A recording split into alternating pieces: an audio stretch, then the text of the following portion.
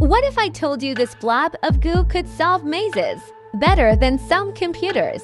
Meet Physarum polycephalum, a single-celled organism with no brain. Yet it displays remarkable intelligence. Slime mold isn't an animal, plant, or fungus. It's something in between, and it thinks in ways we're still trying to understand. In a famous experiment, scientists placed food at two ends of a maze. The slime mold explored all paths but then retracted from dead ends, leaving behind only the shortest route to the food. It solved the maze without any brain power. Slime mold moves by pulsing, spreading a network of tubes. It senses chemical gradients and sends signals across its body to reinforce successful paths. It's like a living algorithm, optimizing for efficiency.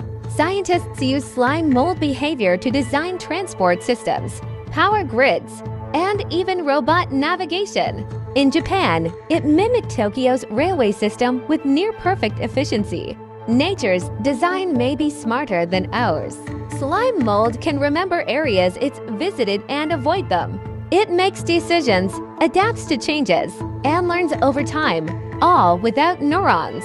Studying slime mold could lead to breakthroughs in biocomputing, decentralized AI, and robotics. It's proof that intelligence doesn't always need a brain. One slimy cell.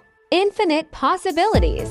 Nature's weirdest genius is showing us the future of thinking without thinking. Subscribe for more strange science.